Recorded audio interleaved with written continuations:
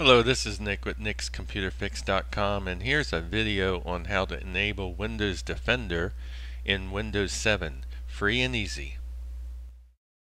Okay, to begin with, let's go down here and click on the Start menu in Windows 7 and go up here and click on Control Panel. Now I like to work with a different category in Control Panel, so I'm going to go up here and click the down arrow and select Large Icons and that way I can come down here and just click on Windows Defender. And it will open up Windows Defender because presently for this tutorial I do have it enabled. Now I'm going to click on Tools and then under Settings I'm going to click on Options. And then I'm going to scroll down to Administrator because you have to be the big guy in order to uncheck um, use this program and I'm going to uncheck it and I'm going to click on save and then it's going to tell me that this program is now turned off and I can click on close.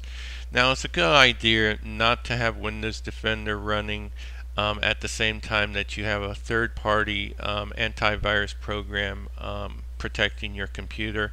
In my case it's um, AVG free version because it can create conflicts and slow your computer down.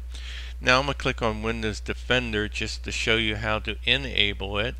Um, what you want to do is click here to turn it on. And sometimes it takes a few seconds but uh, it'll come right up and open up Windows Defender.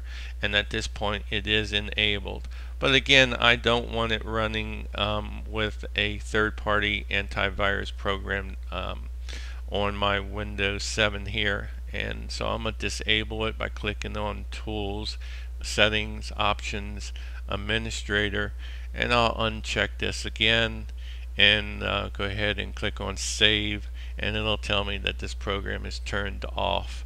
And that way I only have one antivirus protection program running. Okay um, that's the end of this tutorial. Subscribe and like my video